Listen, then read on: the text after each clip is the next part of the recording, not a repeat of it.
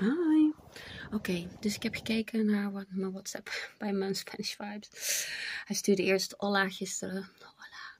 En vandaag stuurde hij dus een foto van uh, Levi's shirtje die ik daar nog heb liggen van mezelf. Dus, uh, maar goed, hij is aan het werk. Oh nee, om drie uur gaat hij werken, inderdaad. Want hij werkt tot twaalf vanavond. Dus uh, ik ga natuurlijk wel mijn apologies aanbieden. natuurlijk, of course. Um, en ik zat net um, te reflecteren en te mediteren. En ik dacht, oh ja, inderdaad. Hoe ik nu ook door het leven ga, is ook een deel als een man. Ja, want ik wil graag de mannenbrein beter begrijpen.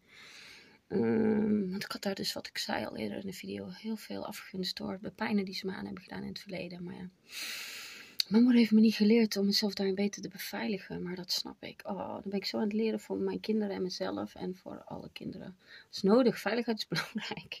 Die veiligheid vind je in jezelf, in je kracht. Dan kan je de, de andere dingen om je buiten jezelf beter, jezelf daar beter in beschermen.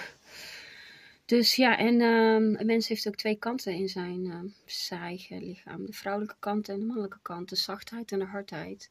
En daar de balans in vinden is jezelf creëren. Dus ja, Spanish vibes, apologize. Sorry brother. Maar ja, uh, yeah, there is something within. Maar er zijn twee dingen. Er is iets aan hem, maar ook iets heel bijzonders aan hem. Wat mij zo tot hem aantrekt. I'm gonna meditate about that.